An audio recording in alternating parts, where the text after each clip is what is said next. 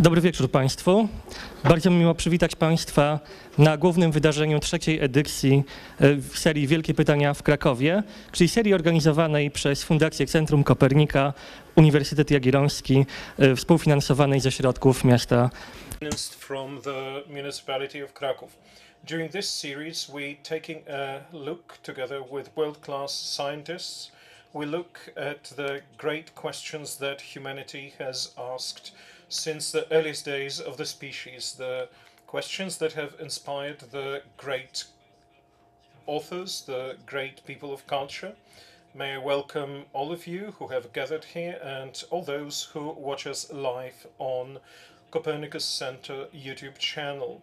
The great questions are usually a range of questions. Yesterday we had a discussion with John Dylan Haynes, whom we welcome very cordially. A discussion with Professor Bartosz Brożek. The recording of that debate will soon be available at Copernicus Center YouTube channel.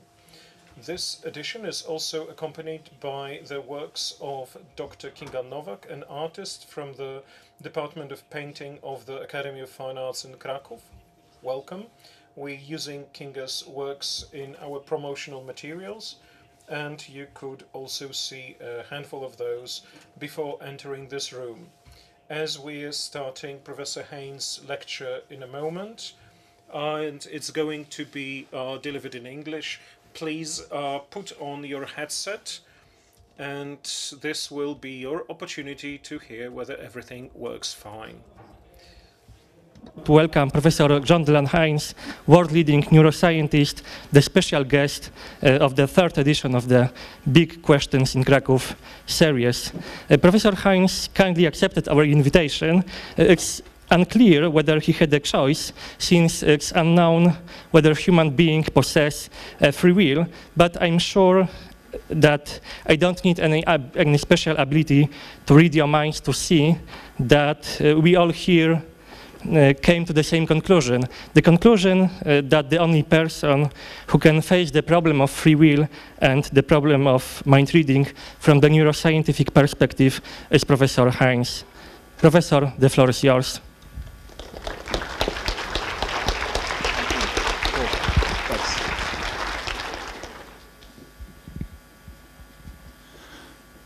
So, uh, good evening, everyone. And uh, I'm uh, very happy to be in Krakow again. I keep telling people that I was in Krakow 18 years ago, and it still is as beautiful as I remembered it. So, you're all very lucky that you can live in this beautiful city and uh, that you can. Uh, that you're blessed with such a fascinating interdisciplinary institute as the Copernicus Center. So, thanks to uh, the organizers for the invitation to come here to Krakow. Now, I'm going to talk about free will and mind reading, and um, I'm going to try and give you an idea of what brain science can contribute to the problems of free will uh, and mind reading.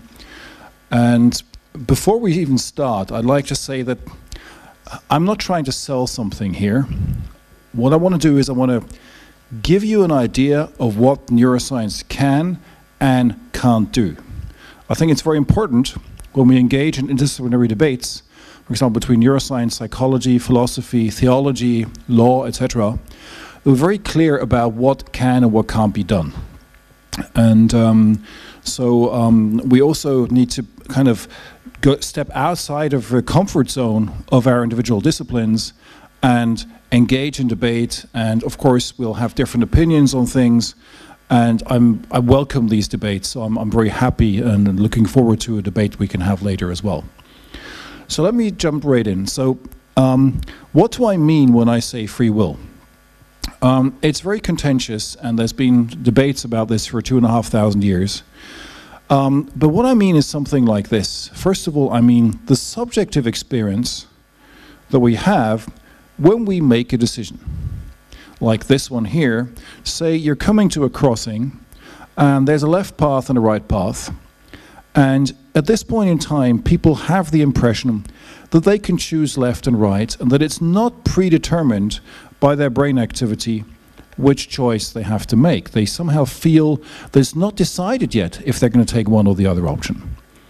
And neuroscience and even physics might say, well, it seems from our knowledge of the kind of quasi-deterministic universe that it should be decided by our brain states that we're going to take left or right. But the, the, the, what I mean here with free will is a subjective experience of this person that we, when we come to these decision points, we don't feel constrained. We don't feel that the forces of the universe, the physics and the physiology, make us take one or the other option. Now, there are situations where our freedom can be constrained um, uh, using um, external constraints. For example, if we uh, have one of these roads were to have a wall and the route would be blocked, then we'd feel that that's an impediment to our free um, will because we can't enact what we've freely chosen to do. So if there was a wall blocking the path to the right, we feel somehow um, inhibited but um, that's an external constraint on our freedom. I'm not talking about these external constraints on our freedom. If anything, I'm going to be talking about the internal constraints in our freedom. Uh, so constraints that come from within our brain or within our mind. Now, people tend to have the impression that they can do otherwise. And the way we know this, when I say people have this impression, often this is a throwaway statement that people make. Oh, yes, my intuition says we all know that, and so on. These kind of statements, yeah, like we appeal to our ideas about what people think, but actually, we and others have now started to measure what people think when we make these decisions. And um, you ask questions like these to large cohorts of people. You say things like, People always have the ability to do otherwise. And if I were to ask this question, I realize it's not a very precise question, but let's just say, um, if you were to take it by face value, how would you answer to this question? Would you, so if you say yes, please raise your hand now. And I'm expecting you to raise your hand either for the yes, the don't know, or the no. So uh, we should, um, everyone should raise their hand at least once. And only once, actually. So um, let's hear everyone who says, people always have the ability to do otherwise. Yes. Who, so um, that's a small proportion, I'd say. Who says don't know? Another kind of intermediate proportion. And who says no? I'd say another intermediate proportion. So I'd say you're split between these three different alternatives, but you're not a representative sample. Um, I have to say, if you ask this question to many people. You go and do a representative survey. We've done this in the US and Singapore and in Germany. And what comes out of that is people overwhelmingly believe in free will. So if there's a there's a, um, uh, an instrument for this, it's called the Free Will Inventory, developed by Nadelhoffer and colleagues, and it gives you a scale, a measurement scale for people's beliefs in free will.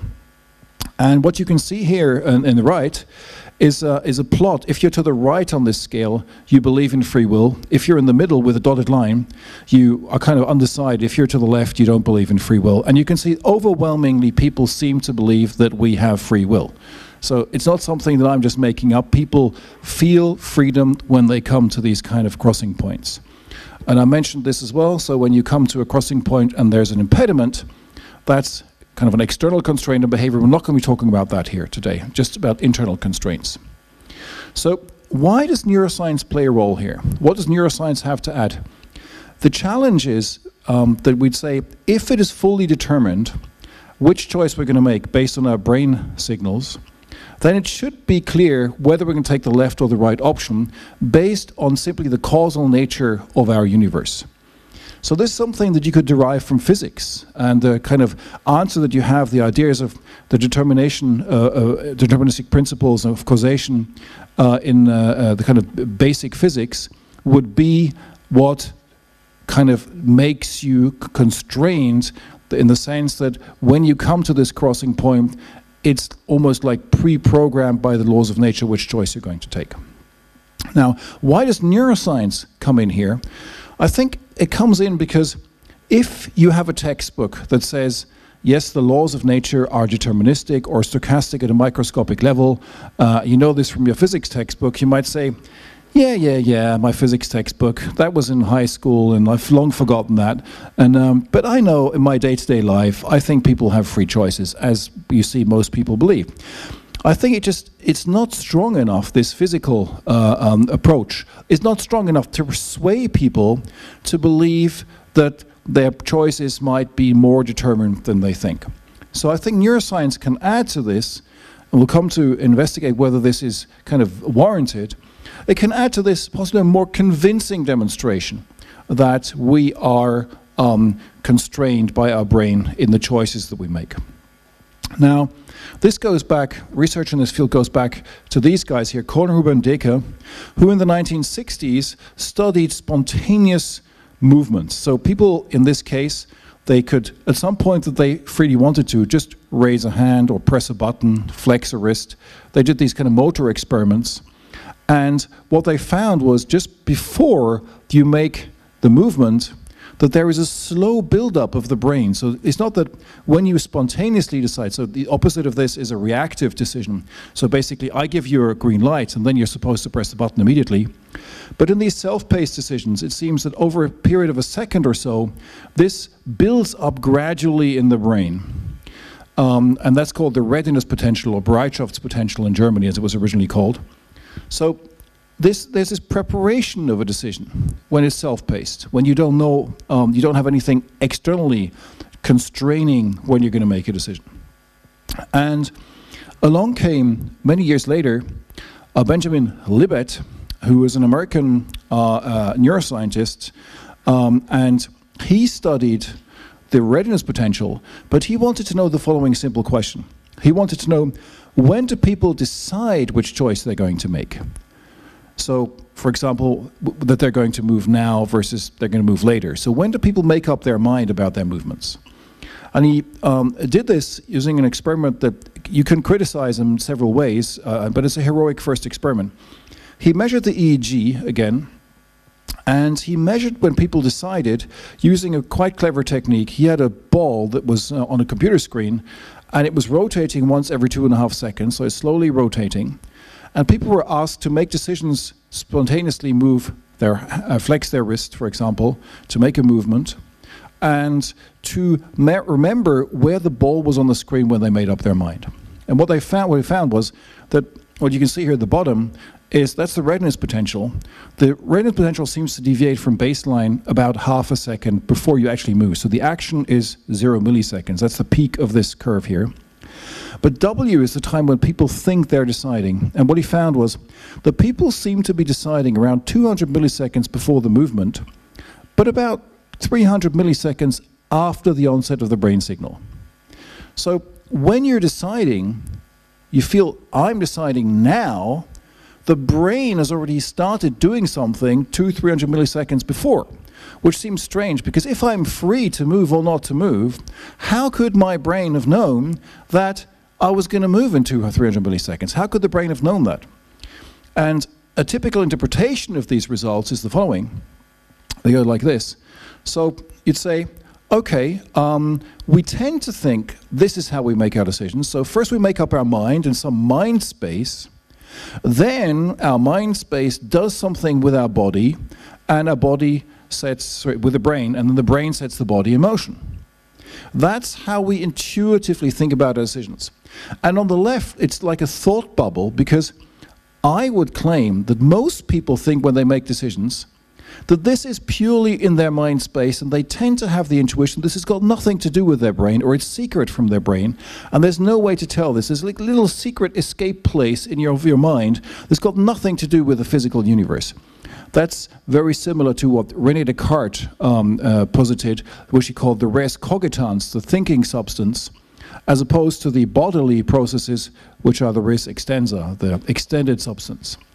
And what these experiments suggest is it's actually quite different. It's not triggered by your mind, the starting point of a decision, but actually some unconscious brain process starts this then causes your decision, a conscious decision, and this conscious decision is also realized by the brain, it's some brain process, and then you put the body in motion. And this is a fundamental difference. If you are the ultimate cause of your actions, your conscious mind versus it's your brain and your conscious decision is just kind of something that's dangling uh, on after a causal process in your brain that is fully constrained possibly by the brain processes. I'd like to say that um, this is the standard kind of hand waving interpretation of the Libet experiments. I'm not sure, and then we're going to look at this with close scrutiny, whether the Libet experiments really deliver in uh, uh, um, substantiating this claim. So we looked at this a few years later using MRI instead of EEG. MRI has an advantage, functional magnetic resonance imaging. It gives us a better resolution of the brain process and we can look all over the brain. So we did the following experiment. People made decisions between pressing a left and a right button and they um, were asked to do this spontaneously whenever they felt the urge to press a button to immediately press the corresponding button. And we also asked them to remember which letter was on the screen when they made up their mind. So there was a sequence of random consonants. And people were asked to remember which consonant was on the screen when they made up their mind. So they're not supposed to wait until the letter Z and then make up their mind, but to um, remember that the Z happened to be on the screen when they made up their mind. And now what we have again is the following. We've got the time when you move, we've got the time when you make up your mind, and now we can look at the predictive relationship between these. And just as a reminder, functional magnetic resonance imaging is a technique, it doesn't give us access to neural activity in itself. So I always think it's best to be very upfront about the limitations of your techniques. And magnetic resonance imaging is a fantastic technique, and functional magnetic resonance imaging gives us the ability to measure brain activity in the broadest sense, but it reflects magnetic changes in blood depending on whether it binds oxygen or not. So oxygenated hemoglobin is non-magnetic and non-oxygenated hemoglobin that isn't carrying uh, uh, oxygen anymore um, is magnetic. And that's something that we can measure with this technique. So this technique is ultimately limited by the vasculature. We're measuring a property of the blood supply. We're not measuring a property of individual neurons. And there is a biological limitation here. It's something that's not easy to overcome by just building better or stronger field brain scanners. So that's just uh, important. And the second thing in the bottom right, you can see a brain image obtained while people were looking at um, uh, object stimuli. Um, these maps show you regions where the brain is more active or less active. So the more active regions are in hot colors and the cold regions are where the brain is less active. But these are statistical maps. It's not a photograph. Uh, this is a statistical map, and that just means that this states that there's a probability or a high likelihood that there is something happening in the brain there. So people sometimes in the public tend to uh, kind of, there's a little bit of a distortion here when this gets simplified, that this is like a picture that is absolute ground truth.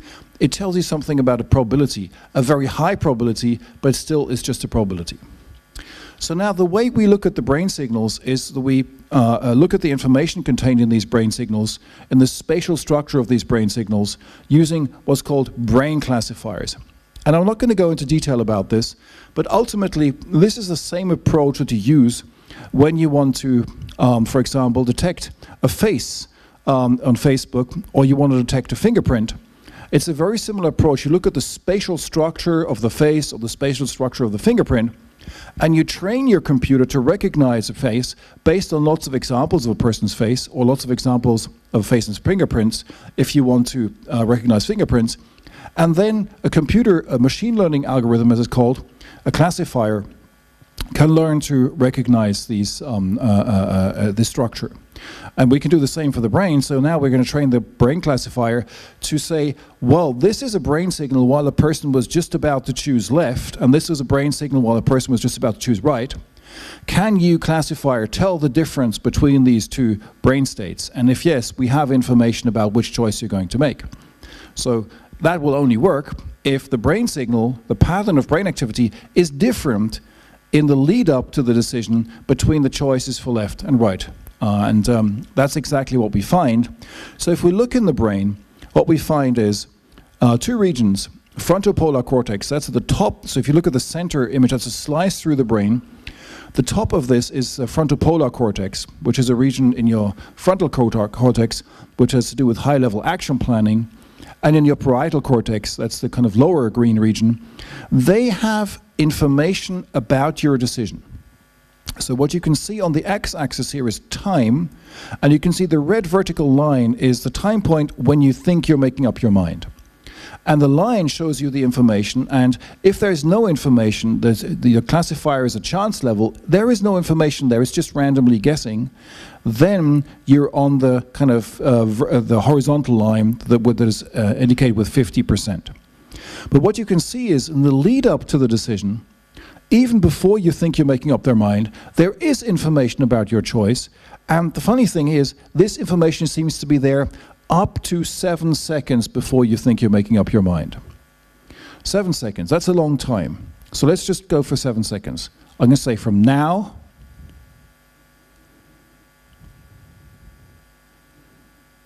to now. That's a long time. Um, so another thing you can notice is that the prediction classification accuracy is not that high. It's around 50 to 5 to 60 percent. This is significant, so statistically this is okay, but because we've got many repetitions, we can be sure of this, but nonetheless we can't predict perfectly, and I'm going to come to that later. So the first question we can say is, well, how can it be that there is this information seven seconds before we make up our mind? How is that even possible? Because I know when I cycle on my bike in Berlin, um, I'm constantly face, uh, faced with the situation that a taxi or someone else just kind of drives in my lane and I have to, I can't wait seven seconds to respond. We know that we can respond faster. Well, this is a very different kind of decision. The decision here is a self-paced decision. You can make up your mind when you want. You're not forced to do it this at a particular time. And so these self-paced decisions are very different than reactive decisions where you're forced to respond as fast as you possibly can. So it's a very different type of decision. And think about when you're deciding uh, whether you want to study uh, psychology or neuroscience, or if you want to study in Krakow or in Warsaw or something like that. We know that decisions can build up over long periods of time. It's nothing surprising when there's no external constraint that we can do this across even longer periods of time. Another question is, is long-term prediction of choice outcomes surprising? Is isn't this really weird? Seven seconds? In fact, I'd say no. If I were to ask you if you like coffee or tea, and you might say coffee, I'm pretty sure I would have been able to predict your choice from the same question asked to you five years ago. You might have said coffee five years ago. I could predict with pretty high accuracy your choice now. Or we know that brand preferences, for example, in this case for consumer items, are pretty stable across time. So we, for example, might have policies, we have standards, we have routines with which we deal with things. So the fact that we can predict choice outcomes across long periods of time is not surprising at all. It's actually something that we would completely expect. So now, when you look at these um, Libet experiments, you can say, yeah, that's all good. Even, let's just say I buy the fact that there is this preparatory brain signal and that you can predict the outcome of a decision. But, you know, I really don't think that these Libet experiments capture the essence of free will, what free will really is. Yeah, That's the kind of standard thing. And then you will often have people uh, of discipline, I'm just going to call it index P. uh, not going to say what they are, but just call them P's. These P's might say, um, we know that that's not free will, that we, when we make a choice between a left and a right button, that's just random. That, that's not a kind of instantiation of, free choice. So, um, and um, uh, then you can say, well, well, why not? Well, there are several reasons. For example, one is choices in Libet experiments are relevant for the problem of free will because they involve seemingly random choices that don't involve motivation or reason. This is a typical argument from um, someone from the discipline P who would hold a theory that he calls reason responsiveness, that ultimately what relevant uh, for free will is that we just base our choices on motivation and reasoning. In this case, it's arbitrary, so this is not a free choice. Yes, well, I'd like to counter to this that the case where we uh, seemingly arbitrarily decide is the most difficult to classify in the brain. In fact, if we have strong preferences and motives for one or the other option, we can classify incredibly well. For example, we did a study um, uh, seven years ago where people, car enthusiasts that had very strong reasons why they preferred one or the other car, had to choose cars that they wanted to buy, this self-stated intention to buy. And with Anita, Anita Tusche was a PhD student at the time, and we could classify this incredibly well, an hour ahead of time, much higher accuracies. So when there is a motivation, it's not more difficult to classify, quite the contrary. It's very easy to classify when there is a motive and a reason why you want to do something. So there's that. But the other question is, is this really intuitive? I've kind of entered this free will debate as a neuroscientist and psychologist, and often what I find in these debates are mere stipulations. The, the type of, um, we know that this is irrelevant for the problem of free will because the seemingly random choices don't involve motivation or reasoning. That's a mere stipulation. Why is this not free will? So let's just take some common sense here. What does the lay, what the lay people, what does the common lay public think about these kind of decisions where you spontaneously decide between a left and a right button press? Do they think these are free decisions? Do they not think they're free decisions? And I had a, a PhD student, Robert Deutschlander. He was working on this together with a colleague of mine, Michael Pauen, who's a philosopher. And we just looked at these kind of decisions from these Libet experiments, and we asked questions like, is this situation where this person is deciding, is that a free choice or is it not a free choice? So they could rate the freedom that they ascribed to the choice that the person made or the, the action the person made.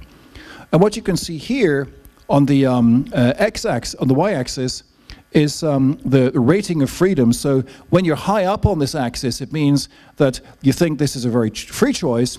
And when you're very low, um, it thinks it's not a very free choice. And on the left is a real choice. You have two alternatives that are different. So uh, uh, on the right is a Buridan choice, which is something like on the left there's an apple, and on the right there's an apple. There's no difference. A real choice would be um, something where on the left there's an apple, on the right there's an orange. But now there's another factor in here, which is the fact whether this has a consequence or not. So we asked people, for example, to rate the freedom, uh, freedom of a decision, where in the one case, someone is just trying out a pen or just randomly scribbling, versus in the other case, they're signing their employment contract. So if motivation and reasoning were what's relevant for freedom, people should say the situation where I've got a real choice and I'm signing an employment contract and I've got a reason to sign the employment contract, etc., that should be rated as maximally free. But lay people think that this is the least free situation. This is exactly opposite of what reason responsiveness from the P camp would, um, would predict. Quite the contrary, it seems that they believe that the situation where you're more or less randomly deciding is a situation that is particularly free. Um, so, of course, we can technically define freedom, like, uh, for example, we define work in physics um, um, we might define this different than, uh, uh, than, than lay terms. But whenever we have these um, uh, redefinitions, we have to be careful when we enter interdisciplinary debates that we don't kind of import some problems just because we have a very counterintuitive way of defining our concepts. Another typical conceptual critique of the Libet experiments is this one. You, I hear this all the time. Oh, well, we know that these decisions, when people make the choice on a trial for the left or right button, um, it's just random. And people actually decide when they decide to participate in the experiment. Hey, do you want to participate in the experiment? Let me think. Do I have time to participate? Yes, I'm going to come along. I'm going to participate in your experiment. There you go. That's the decision. When you go to the experiment itself, oh, I'm just randomly pressing buttons. I'm just kind of more or less um, uh, uh, um, uh, behaving completely randomly. So, um, they would think they're too impoverished. In fact, it turns out that we can decode not only what's called intentions in action, so when you're deciding now, but we perfectly well can decode prospective intentions as well. So I, if, we, if we go several seconds back, say 20 or 30 seconds, we can decode from brain signals something that happens 20, 30 seconds later. There's no problem. We can decode the intentions also in this prospective condition. It doesn't really matter. Um, and another, even more important point is let's ask the lay people again, do you think this argument is convincing? Um, and so we put people in a situation where you could make a, uh, would, the, the, lay people had to judge again these scenarios where someone was making a decision. And the one case someone might say, yeah, a day before my, uh, I had to put this into action, I decided I'm going to take whatever, the Coke. But when it came to it, I decided I'm going to take the Fanta. So the question is, you've got a prospective intention, something happens before, um, and then you got another thing that happens while you're actually engaging with the intention. So what is more relevant? It turns out that people judge the prospective intention as completely irrelevant. The only thing that matters for your freedom is when you are acting, at this immediate instant before you start acting what you wanted then. Anything that happens before is irrelevant for your freedom. So that's something that um, I think is also not a very good uh, criticism. Um, so I, I, think these a lot of these um, um, criticisms of the Libet experiments from the P camp are not very good criticisms. Um, what I'm going to show you is that there are good criticisms of the Libet experiments, and I don't think that you can use them to rule out free will. Um, but I'm going to show you what the real reason is why that doesn't work. First of all, I want to show you something else. So typically, when you look at the problem of free will, it's constrained to something that has to do with um, at the point in time when you make your choice, and your decision and your mind is kind of um, uh, your brain state is completely determined and follows the causal laws of nature, that that is what constrains you. And that this might be a challenge to free will, and that we have to possibly redefine free will in a way that is compatible with determinism. That's a very common move in philosophy. Sorry, I mentioned it there. I mean, P, of course, not philosophy. So, but actually, it's a little bit more complicated than that. So we actually use this uh, free will inventory because it gives you other uh, dimensions, not only free will, it gives you determination, determinism, and dualism. And what turns out is it's completely uh, uh, uh, uh crazy. People tend to think that their minds are separate from their brains. We are dualists. Most people, that's in the bottom right here, are in Singapore and the US, are dualists. We think that our mind is separate from our brain, and they don't have a problem with determinism when, for example, they come to a decision point and you say, well, the laws of nature are constraining your choice. They think, so what? My mind is separable. I have my little mind space where I can secretly make my decision. It's got nothing to do with my brain. And I, that's, what, that's why I have my freedom. It's got nothing to do with complicated actions of redefining free will and then making them compatible with determinism. Their, their move is much simpler. They are not constrained by determinism because it's about their mind. And we're going to, later on, we're going to come to this, um, to this issue. So, um, what is the basis of these brain signals. And now what I'm going to do is I'm going to try and take down the Libet experiments and these choice prediction experiments, so including the experiments that we've published, and based on trying to explain what they really show and what they don't show. So how can this come about? How do we get this choice predictive information? The information seven seconds before people think they're making up their mind. Well, one interpretation is it's deterministic. You'd say that by the time the brain signal starts seven seconds before your choice, think of this like a sequence of domino stones. Yeah? You topple over the first domino stone, and there is a completely deterministic process that ends up in kind of a series of events happening, all the domino stones toppling over, and then the last one toppling over, that's when you've made your decision and you start your action. That's a deterministic model, that the decision is fully finalized by these early brain signals. Why can't we predict perfectly in this interpretation? We can't predict perfectly because our scanners suck. They're great, they're the best way we have to measure brain activity non-invasively, but still we don't get at brain signals with a level of detail that we would really like. So the noise is in the measurement. Actually, if we could get at the brain signals in the frontal polar cortex, we could possibly predict perfectly. That's the idea, that's a deterministic interpretation. I'm not saying I believe this interpretation, I'm just saying that's one possible interpretation. The other one is a probabilistic interpretation. That is, the decision is only biased by these early brain signals, so in principle, only a partial prediction might be possible. We don't know which of these two is correct because we don't have the ability to measure independently 100 million neurons in frontopolar cortex. We can't do that. There is no technique available, not even invasively, that we could measure the state of all these neurons. Not even if we were to discard all ethical principles, which of course we wouldn't do, is there a way to measure the activation state of all these individual neurons? And there's actually, in fact, another interpretation of this. So let's just say, let's just think about a model how people make up their mind in these cases. So one interpretation is you got your chain of dominoes. So you start the causal process and you've got the domino stones all toppling over, and at some point at the end of this, you make up your mind. Another possibility is that you actually make up your mind when you think you're making up your mind. That is exactly at the time when you think, now I'm making up my mind, that's when the decision is made. And now, why would you be able to predict ahead of time? Well, there is a property of brain signals, it's called autocorrelation, and that might give you something that looks like a prediction, but it's actually not proper prediction. So, how would this work?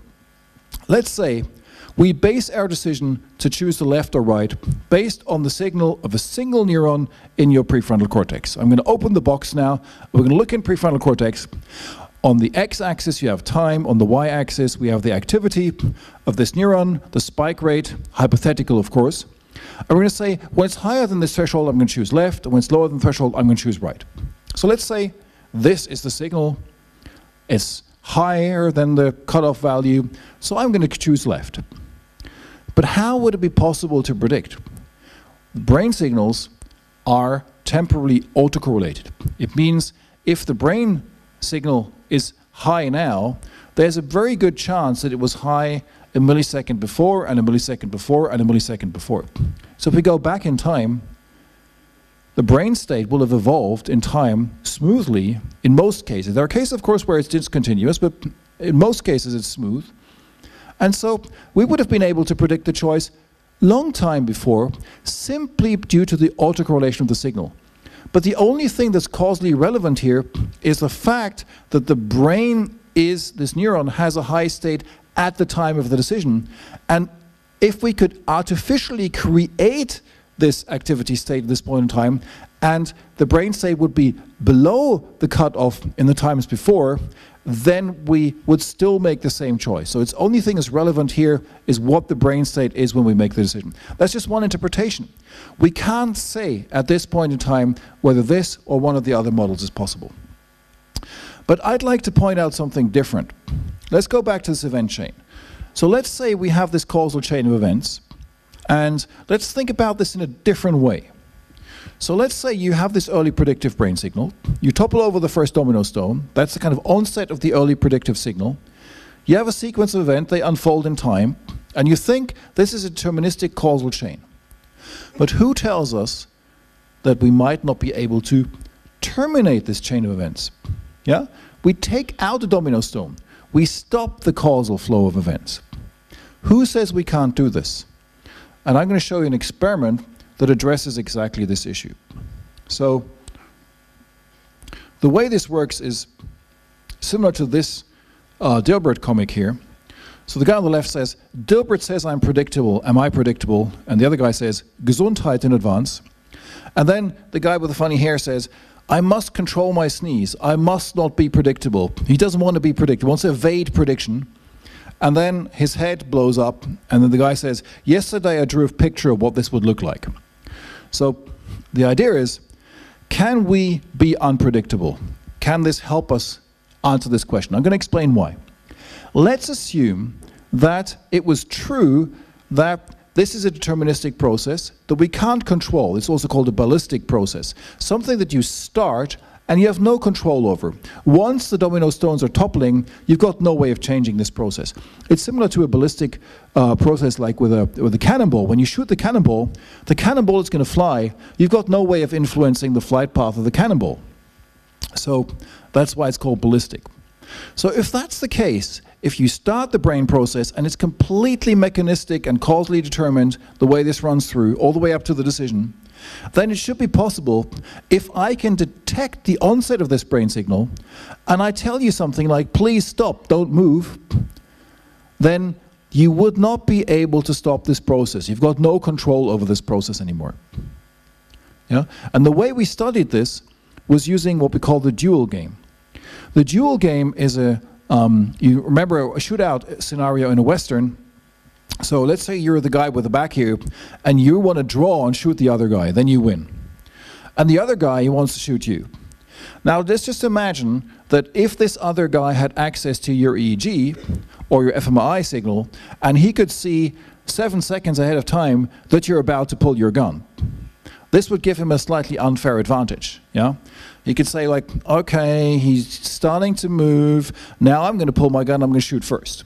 Yeah, so that's a duel scenario. And the question is, similar to this duel game, whether when you trigger this process, the decision starts and you get this process that's unfolding in time, and let's assume it was deterministic, then once we've seen the onset of this, and we tell you, please stop, you just can't stop. It just runs through, there's nothing that you can do. It's a ballistic process. Like the cannonball. You shoot it off, you can't do anything with the flight path until it's finally landed. And if that were the case, and you could say, well, the cannonball has just left the cannon, we've got no way of controlling it, we just know that at some point it's going to land. This is the same with these brain signals. If they've started, the domino chain just unfolds. We've got no way of stopping this process. If someone says, hey, this has started, please stop it, you, if this is a ballistic deterministic process, then you've got no way of changing, you've got no way of influencing this. And that's exactly what we're going to probe here. Uh, so the experiment goes like this. You have a button, and your challenge is to press this button while the light is green. And um, that's like the draw. Yeah, the, please pressing the button is equivalent to drawing your gun. And when you press the button while the light is green, so they were pressing the button with their foot, um, then you win a point. You win this duel. If you press the button and the light is red, you lose the trial. So you've lost, basically. The other guy is shot first. The red is he's shooting you, and you haven't managed to press the button first. So now we're going to do this, but let's just assume that we have access to the EEG signal. Then, of course, what we can do is we can say, oh, the guy has decided to move because their brain signal is emerging. We're reading this out in real time with a brain classifier. And we say, oh, the readiness potential has started. Let's quickly turn the light red and we're going to catch him out. So that's the way this experiment works. And we do this with um, EEG and with a brain classifier. So the brain classifier is based on BCI technology. This is an experiment done in cooperation with uh, Benjamin Blankertz from Technical University in Berlin and with Matthias Schultze-Kraft and Daniel Birman, who were the, um, the students working on the project. And we need to be able to read out the onset of this readiness potential very rapidly, within a fraction of a second. And then we can say, oh, the readiness potential has just started. Let's see if we turn the light red, if people can still stop. And it turns out that they can to some degree.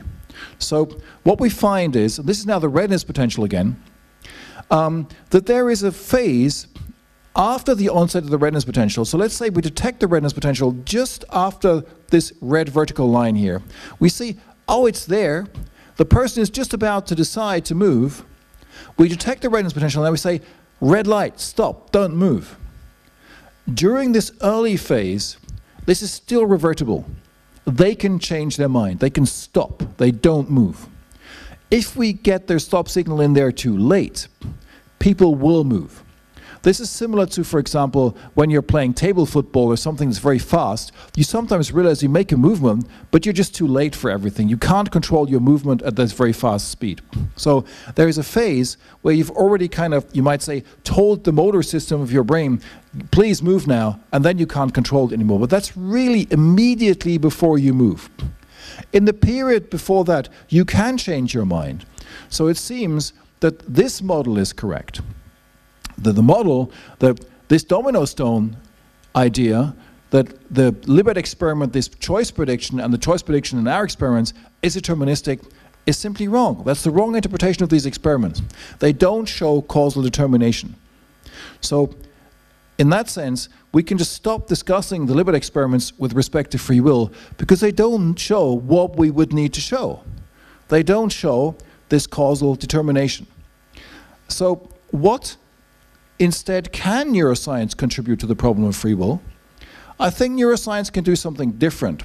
And I come back to this idea of dualism. So beginning with Descartes, in fact, you can go, go all the way back to Plato and find evidence of dualistic ideas. People have frequently thought that the mind and the brain or the body are separate entities. And there's a little closet in your mind, secret that is not visible in the brain, is something separable, that your mind is separable from your brain and that interacts with the brain, but you can make up your mind completely secretly without a brain scanner being able to find out. Now, that's these kind of questions. I'm going to coming back to the initial um, statement I made. People ask these kind of questions. The human mind cannot simply be reduced to the brain. And I showed you this graph earlier on. Again, I'm going to repeating this now. That people tend to believe that the mind is separable from the brain. They think it's something different. They think there is an independence of the mind from the brain. So the enterprise of brain science, if this was true, would be limited in principle. If the mind is separable from the brain, then it should not be possible to explain all of human psychology based on brain processes. There will be a fundamental limitation to the scope of neuroscience. And I think we don't have very good reasons to believe this is the case. First of all, we know that um, there is a very tight relationship between all the thoughts we have and corresponding brain processes. I know that this is uh, something that might spark a lot of debate, but I tend to think of the mind as something that is implemented in the brain as a carrier substance. So similar to the music being encoded on a, on a CD, the CD is the carrier of the music. And every different piece of music can be encoded in a specific pattern on the surface of the CD. Similarly, every thought we have is encoded in the spatial structure of the brain's activity. And one thought coincides with one type of brain activity, one pattern of brain activity, and another thought coincides with a different pattern of brain activity. And there are good reasons to believe that this doesn't just hold for this famous motor homunculus. So this is the map of the human body uh, movement uh, uh, across the cortex. We have the same thing for somatosensory, so for basically touch experiences. We also have a homunculus. But the link between our thoughts and the brain process um, that the mind encodes the details of our experiences is something that I think that is the key take home message we can take from brain imaging that our mental states, our thoughts, are encoded in brain activity simply because we can read out what a person is thinking by measuring their brain activity. And I'm going to show you an extreme example here from colleagues from the US, uh, Nishimoto and Gallant, published in 2011. It's a kind of quite famous uh, video. Uh, what you can see on the left is a clip people were looking at in a brain scanner, and on the right is a reconstruction using mathematical models um, of what the classifier thinks or the reconstruction algorithm thinks based on the brain activity what the person is currently seeing. So I, I think this is quite an incredible video. It's kind of uh, on the very optimistic side, you might say.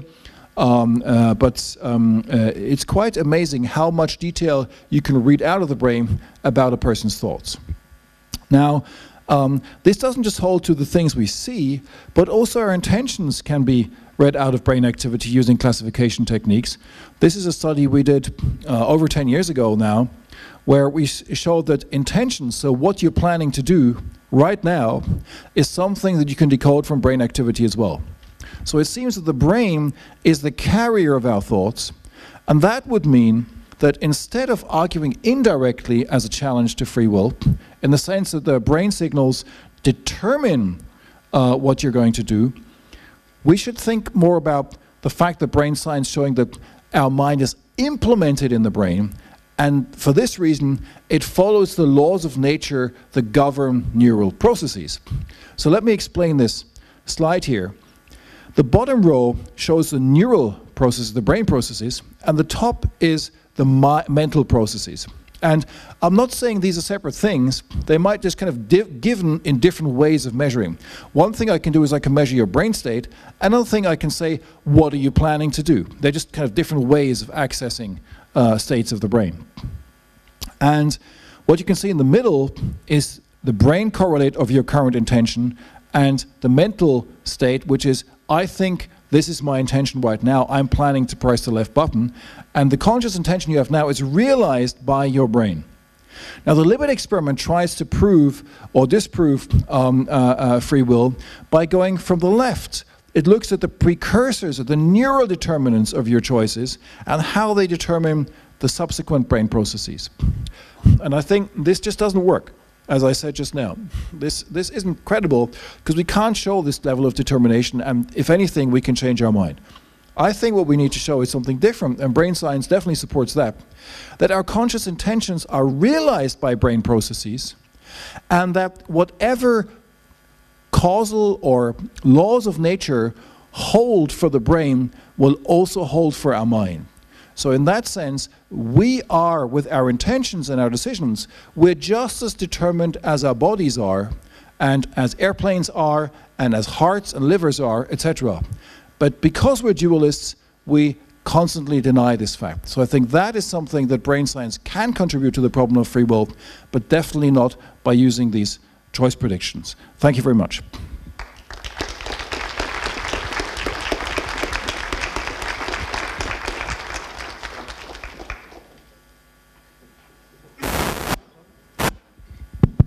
Uh, thank you, Professor. Now we have time for discussion. So, uh, if you want to ask a question, feel free, even if it's just an illusion, feel free uh, to raise your hand and we'll try to deliver a microphone.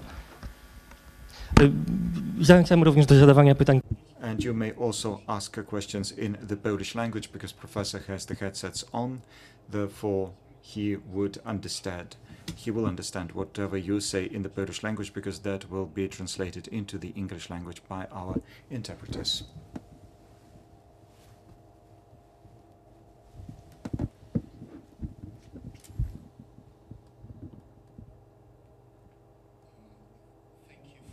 Wonderful lecture.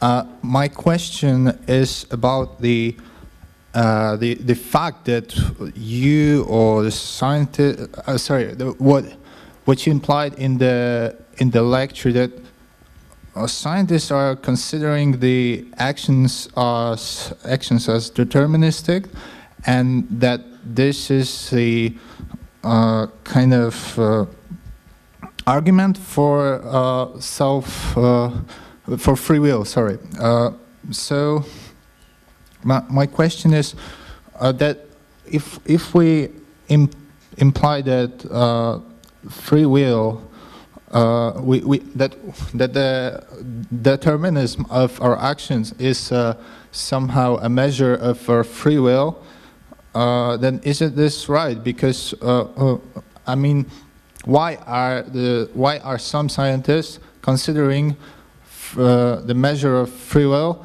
as an ability to make a decision of determinism if we know that, as you uh, greatly showed in the lecture, that we can consciously stop the this these processes. So why why, why don't we think of uh, free will as a just uh, uh, the the fact that we have no control over the uh, the processes that are arising in in our brain? Uh, sorry if that question was confusing.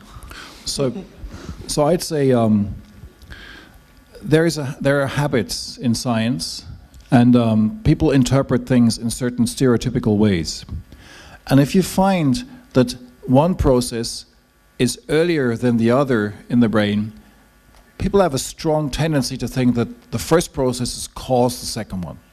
So there's a certain face validity to the Libet experiments. Uh, if I see something before my choice and later on I make a decision, it seems that this is a very plausible candidate for a cause of my decision. It turns out that presumably even it is something that causally contributes to my decision, but it's just not deterministic in the sense I can't change my mind.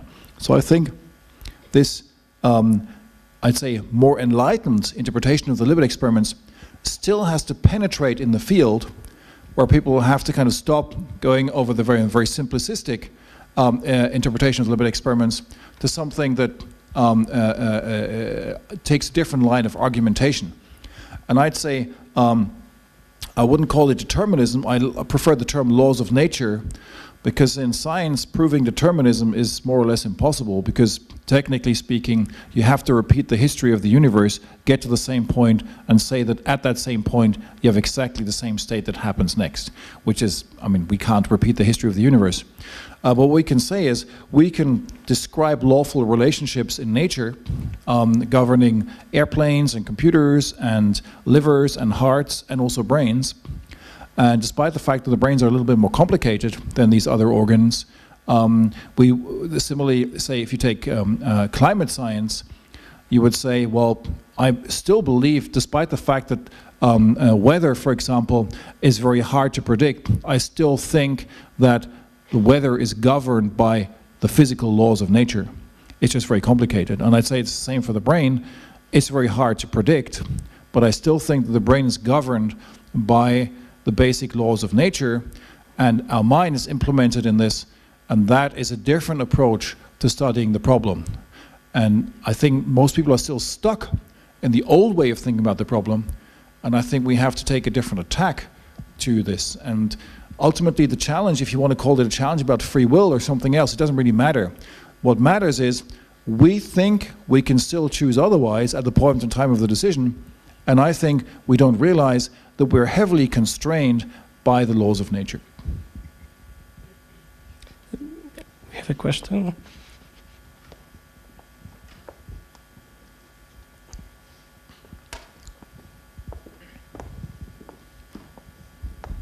Thank you. That was very interesting. Let's see if I can stumble through this question because it's uh, difficult. Uh, but um, like you said, that we're stuck in this old way of thinking that we have a like dualistic, that we're dualistic creatures in a way, and uh, that would you think it would be better if we got rid of this way of thinking? And I also wanted to say that like. whether we have free will or not, we kind of we treat each other as if we have free will. So if we got rid of this antiquated illusion of free will, how would that, what implications would that have for how we treat each other? Like, what would that look like?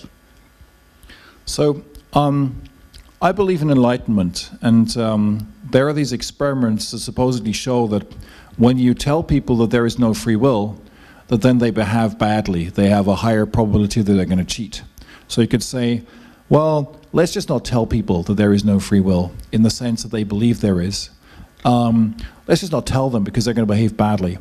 Well, I'd think that's similar to going back to the Renaissance or Enlightenment and saying, oh, let's not tell people about physics and, and the world and things like that. Let's just, they're behaving well because they believe in God, and their belief in God gives them a moral system.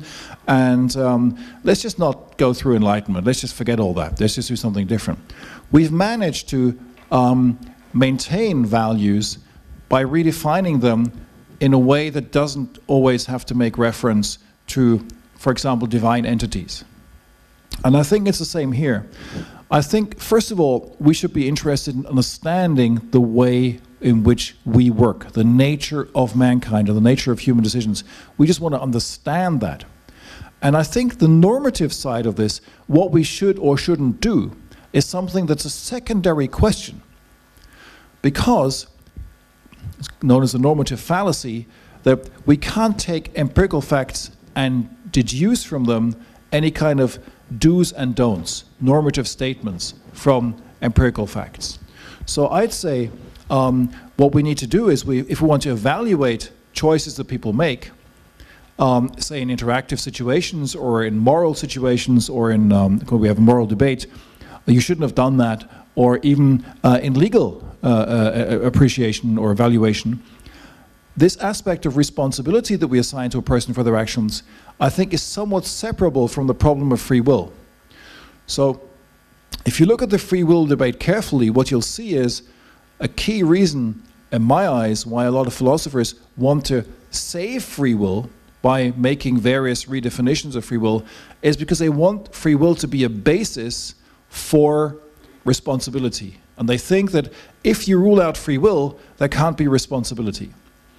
I think that's a bad move. And in fact, what we found in our um, questionnaires that we did with people, and now I'm talking about the intuitive side of things, not the kind of theoretical definitions of terms, but the intuitive side of things, asking lay people, lay people have the impression that a lot of situations where something increases our responsibility decreases our freedom and vice versa. So this idea that freedom is a necessary condition for responsibility doesn't really seem to be what people intuitively believe. And I can give you a very clear example for that.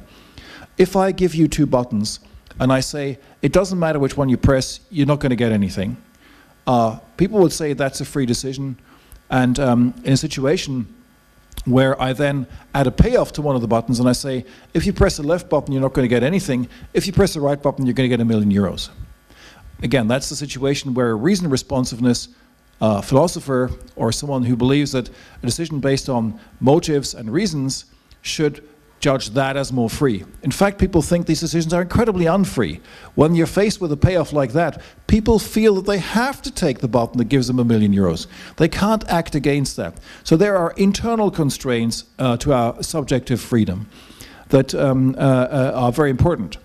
But when you ask people, so they'd say, no, you're not free in that situation but you ask them, are you responsible? They say, yes, you are responsible, because you're basing that on your reasons and motives. So I think the, we should divide free will and responsibility better, and we should say free will, I think, the lay definition of this and what most empirical scientists would follow is that this has to do with the ability to do otherwise versus being constrained by your brain processes. The other is responsibility, basing your actions on your beliefs and desires and motives, etc. We should keep these two things separate. And then when we talk about responsibility and judging people's actions and, excuse me, trying to make people's actions better, then we should talk about responsibility and the factors that govern responsibility, and then we can talk about the brain implementation of these aspects. For example, are the brain regions that are involved in processing of motives, or other brain regions involved in, uh, for example, emotional states or reward processing, versus brain regions involved in argumentation and reasoning? Are they involved in the causal uh, kind of causally involved in the coming about of the decision, and that then a decision we might want to evaluate differently with respect to its responsibility. So I think we have to be very careful to make a dividing line here, and I would advocate using free will for the earlier case, for the kind of case of the kind of um, you could have done otherwise or not, versus the other case, the kind of normative evaluation, to use the term responsibility for that. And we're not get, we don't have to give up on that at all.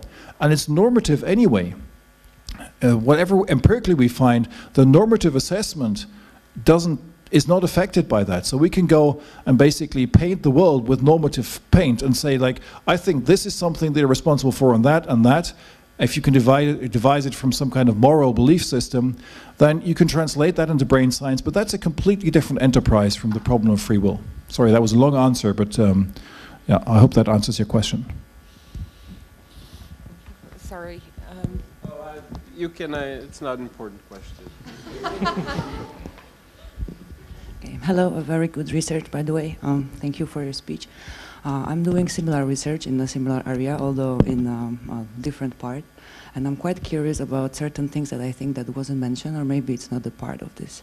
So um, what I noticed in uh, your slides, it's uh, showing that uh, in your opinion, or at least what I see here, all of our thoughts are coming from the receptors that we have in our body, right? So there is nothing in this research that is saying that the thoughts might be coming from some other parts than only our receptors. Am I wrong? Please correct me. Because when you say receptors, do you mean sensory receptors? Yes, yes like no, quite the contrary. In fact, the um, free choice experiments, where um, you can causally trace back um, this, well, not causally, but you can work your way backwards, and the earliest signals you see of an upcoming decision are not in sensory regions at all. It's in frontopolar cortex and in parietal cortex. In fact, that's the idea of these non-reactive decisions, self-paced decisions. There's nothing in your environment triggering you to do one or the other thing. If I show you, um, uh, put in front of you, I put a, a cup of tea and a cup of coffee, there's something that triggers the decision-making process, and if there's some kind of time constraint, I say, do you want one or the other? You might feel under time pressure to make your choice, and you're not going to wait until tomorrow to make that decision.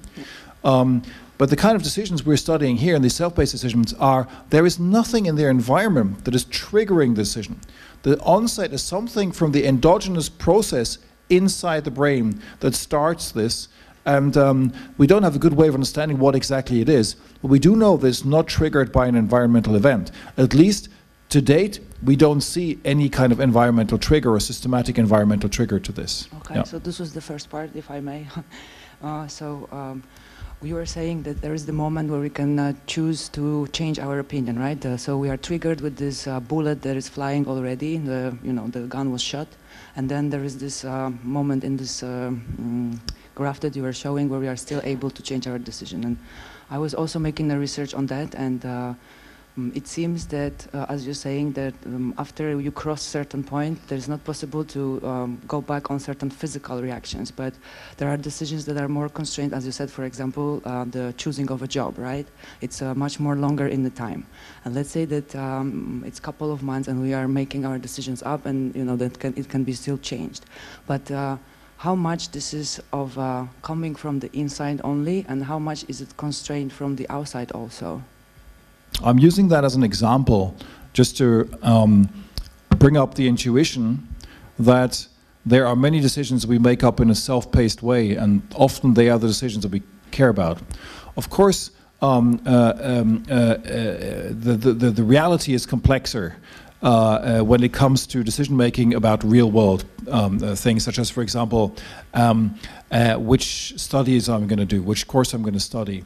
Because presumably, what you're going to do during this period is you're going to collect information, there's environmental events that kind of contribute to this. So the internal and external processes will be very hard to dissect. Um, uh, so, but you could imagine a situation where you're kind of sitting on a chair in a dark room and you're thinking, am I going to do A or am I going to do B? And there's nothing in your environment that gives an additional input or trigger, and you still take a while in your own time to make up your mind. And that's more the kind of situation we have here.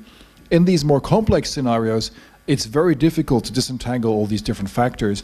And also because we would never be able to, if you take a realistic scenario where a decision follows across half a year, it would be virtually impossible to track all the input to the system and it would be statistically, given the high dimensionality of all this input, it would be statistically impossible to assign any kind of causal processes here, I'd say, simply because um, you have so many possibilities that you couldn't possibly constrain this statistically. So I'd say um, I don't see us kind of being able to track these kind of causal processes in very complex scenarios. Okay, then the last part, uh, if I may, uh, because in my work, what I do, I'm mostly concerned about the morality of this. So um, when I uh, kind of develop certain, um, uh, let's say, um, um, embedding of behaviors, because this is what I do, uh, I overcome the resistance of big groups of people, and I work with uh, like psychology of group. Um, and mm, the previous person that was asking a question kind of touched this. So we are now diving deep into the part where uh, we are influencing, right, or able to influence the human's behavior on the very early stage of them making the decision. So wouldn't this be appropriate moment to also develop certain laws, uh, you know, that are forbidding certain entities to um, abuse this knowledge to actually, you know, impact the big groups of people? Yeah, I mean, the topic of manipulation, whether this research changes the way in which we can manipulate people is very important. Um, so first of all, you can say, if we can read out what a person thinks, does this change the way we can manipulate them? Um, let's just think about not the brain scanning technology today, but let's just say we, in 50 years or 100 years, we had a brain scanner and a decoding algorithm that would allow us to reconstruct in great detail what a person is thinking. This is just hypothetical right now. So of course this knowledge might help us manipulate the person, as any kind of knowledge about a person. If the person has a weak spot or has a certain guilty pleasure or something like that, we can we can play to that and we can manipulate them in that way. So yes, in the sense that if I have access to your web page, for example, your Facebook page, I can get a lot of information that I can use to manipulate you as well. So that's in the sense of having more information about a person, making it easier for me to manipulate someone. I think at the moment it's much more information you can extract from a Facebook page than you can extract from a brain scan, just to be very clear about that. The second, the second question is, um, what is, um, how much information can I actually extract? And how, the, what is the pragmatics of all this? I think we don't have to worry about brain scanners at the moment because let's just say, take a simple example. I want to know where every one of you lives. Yeah? What I could do is I could put you in a brain scanner and it would take us three or four weeks and there'd be still a lot of uncertainty for us to find out where you live. It would be very, very difficult to do this. And there are ways of doing this, but it would be very difficult. I could just ask you, and in most cases you're going to tell me the truth, and it's much easier to just ask you whether other than to put you in a brain scanner. So the pragmatics are not in favor of using a brain scanner. And in fact, there is a field that is, I'd say, um, suffering from this problem, and that's the field of neuromarketing. where people use brain scanners to optimize products so that they trigger craving responses in the brain. Uh, so the idea is um, you can either show a person a product, here's my new car, what do you think? Would you buy this car? Do you think it's pretty, masculine, feminine, etc., etc.? We could put a person in a brain scanner and look whether the so-called pleasure centers or reward centers of the brain are activated.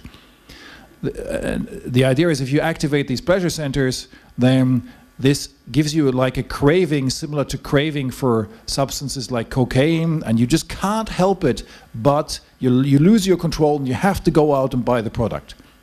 That's the idea. Honestly this is just a pile of crap because it doesn't work. And uh, i'd say the studies that claim otherwise i'd be very careful with these studies um, you can't make very good predictions from these brain responses about people's consumer choices you're always much better with behavior. And I challenge anyone to prove otherwise. And I know there are papers out there that claim otherwise. I'd be very, very careful with these papers, uh, especially because people who publish these studies make money with neuromarketing. So they have a, I'd say, a certain conflict of interest in publishing papers that say that you can do something with neuromarketing. So um, uh, that's a question of the pragmatics again. And in these cases, it's, it's a catastrophic failure at the field of neuromarketing, I think. And I'd say it just shows that in most cases, in practical cases in day to day life, we're going to be much, much better with psychological techniques, with questions, than we're going to be with brain scanners. The task of the brain imaging is to understand the mechanics of the brain processes that underlie the psychological processes. But the psychological approach will typically be much better to find out something about day to day behavior and preferences um, and decisions than it will be to, to, scan something in a brain scanner. So I don't think that we're kind of challenged in terms of um, our freedom, in terms of manipulation, is, uh, is challenged in, in this way. And finally, I'd like to say that when you talk about manipulation, you can say, well, when we think about the brain as a mechanistic system, it means we can suddenly intervene with the system much better. I don't think that from the brain scanning that we do, we can make strong predictions about how a brain is going to respond to certain scenarios. We can possibly say, well, I could stimulate that part of the brain, but just think about it. How are you going to manipulate a person by stimulating their brain? And it even turns out to be worse because if your thoughts are encoded in spatially very subtle and kind of microscopic patterns of brain activity as they are, there's no technique available today that would allow you to, to stimulate the brain in this way. The mosaic of brain activity with which a thought is encoded in the brain is something we can't write into the brain. It would, it would be even difficult to write into an animal brain in a case where you would ignore, in the thought experiment, you could ignore all the ethical aspects. Just say, what could I possibly do to write a complex pattern of brain activity into an animal brain? That would already be very complicated. So I think um, that the brain scanning is the moment it's a basic research tool that allows us to get an idea about the basic mechanisms with which our psychological processes operate and to find out things, for example, that the brain is the carrier of our mind, that's already a really interesting finding, I think. Um, but I don't think we should expect too much in terms of pragmatic um, uh, information about how we could manipulate people from brain scanners. So yeah, thank you uh, for this great lecture. And uh, my question is about uh, predictability, because you talked about how um, even with invasive methods, we still there's still a roof of how much we can measure, and you also have the butterfly effect, you have all this chaos. So I wondered if you believe that we could gain some predictive power by looking at not just the brain, but the body as a whole. So heart rate, gut-brain axis, and endocrine system, and if that could, um, yeah, make us predict it more accurate in the future? So the body is obviously very important. I mean, the body outside the brain is obviously very important. And it stands in connection, for example, just to take the example of hunger regulation with the leptin ghrelin axis. Um, this is something that regulates our hunger. But I think there's a confusion here between what this is now very technical, between what you might refer to as proximal and distal causes of something. So I'll give you a different example. Look at evolution. If I want to explain how a brain works here and now, I don't need evolution. I need the state of the brain here and now. Just like when I want to understand a computer, I don't need to know who invented the personal computer. I just need to look at the structure of the computer here and now, and I can understand what the computer is going to do. It might be a bit complicated, but that's all I need in theory. So the history of the computer is just something that might help me structure my thoughts about the computer a bit better, but it's not necessary to predict what the computer is going to do. And I don't think that um, evolutionary history uh, uh, is going to add more causal things or more predictive power than an analysis of the state of the system right here and now. So that's that aspect. So if we transfer this to the mind and the body, I'd, you can make a similar argument. You can say, well, the way in which we decide is only determined by the brain proximally. That means when you make a decision, that's your brain making the decision. But your brain is influenced by the periphery of your body, just as it's influenced by incoming sensory stimuli. And they, of course, but the way in which they exert their effect is by changing a brain state. And if they change a brain state, they can have an effect on your decision, but they can't have a direct effect. So the body and external stimuli and evolutionary history, they're all called, you might call them distal causes. They're not immediately relevant for what you do, but they're something that has brought the current state of, of your brain about, and that's why they're causally relevant. But the actual decision itself and the way in which your thoughts are encoded, I think, is in the brain state at the point in time of your decision. I don't think the body can, has any kind of indirect route into this. And your hormone systems and your peripheral nervous system, all these things have an effect, of course, but they do have this effect by flowing causally into your brain and exerting an effect through the brain itself. Uh, and I know that there are people who believe otherwise, people who believe in embodiment. I think that's very confused, and I think it's about a confusion between distal and proximal causes. But uh, even in a time window of seven seconds, like uh, the change of heart rate, which the is question is, what do I want to explain? If I want to explain what you're experiencing, your subjective experience when you're making your decision, that's your thought. Hey, I'm going to decide for the left button. That is something that is in your brain. And the body might have contributed to this, the periphery might have contributed to this, but at the point in time when you make up your mind, that's something that's happening in your brain. Hmm. And of course, these processes can unfold across time, but they exert their influence by going to the brain. So I don't think that across these seven seconds, there's something particularly interesting happening in your body. But you could make it happen. You could say, let's just say you're someone who suffers from heart palpitations. Every now and then, you or you skip a beat of your heart. You say, I'm going to decide when I have my next, my, my heart skips its next beat. So you wait until you skip a beat, and then you say, now I'm going to decide. Of course, then the heart has directly causally played a role because you've made it do that. So there are these cases where you could imagine that to be the role because you've decided to listen to this bodily process. But I don't think across this period of six or seven seconds that the rest of the body plays a particularly important role. Of course, they're enabling causes in the sense that they're unspecific. They don't say the fact that you have a, a blood supply to your brain uh, is, of course, necessary from your body, uh, but it's not specific. The blood supply to your brain doesn't determine whether you choose left or right. Thank you. Hello. Uh, I've got a question. Do you know about situation from Libet, uh, Libet experiment that uh, someone intentionally didn't push the button? So actually my question is, does not making a choice is a choice from EEG or fMRI point of view? Sorry, could, could you just repeat that question? I'm not sure I fully understood it.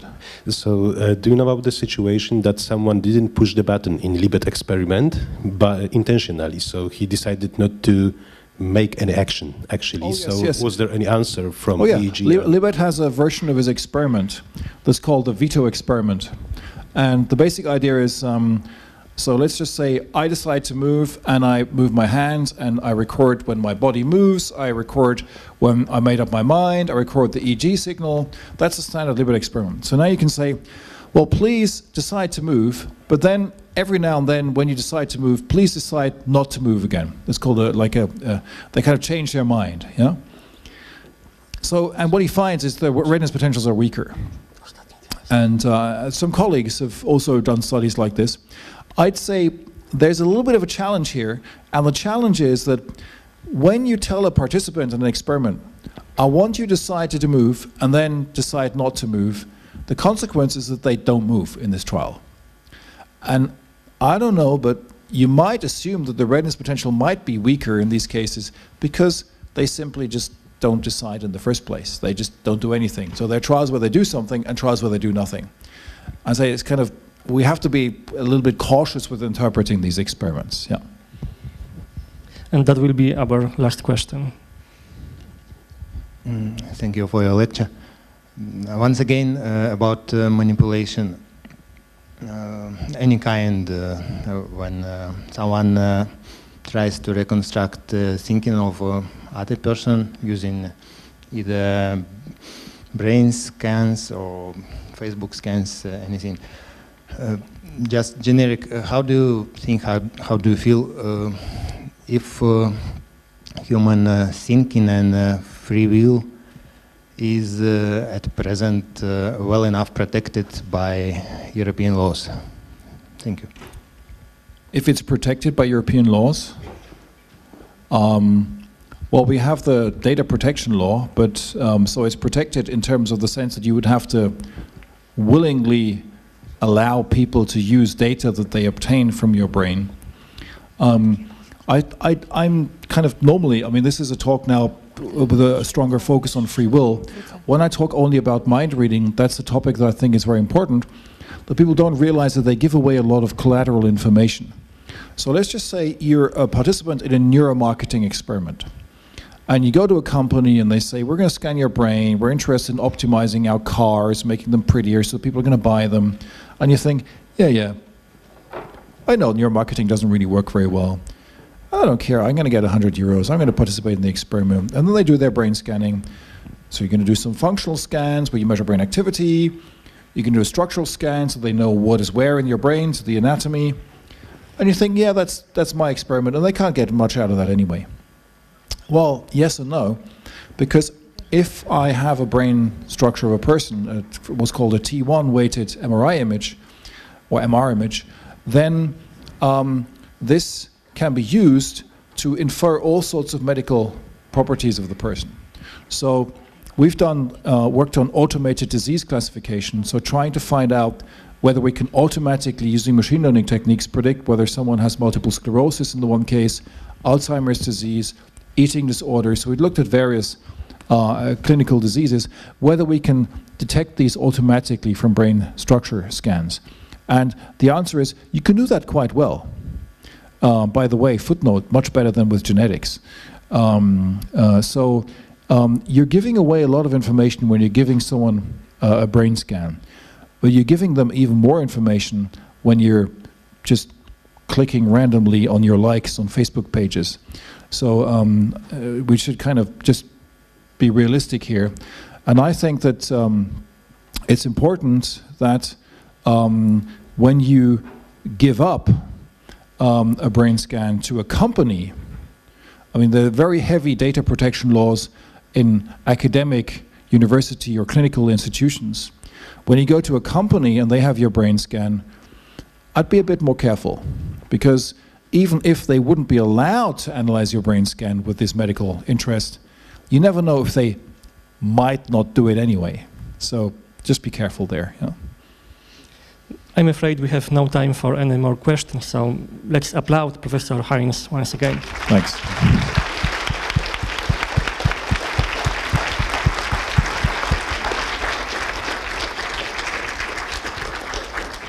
Thank you.